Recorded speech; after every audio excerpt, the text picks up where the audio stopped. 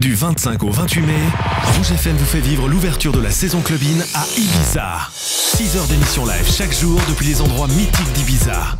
Et vous, de quelle couleur est votre radio?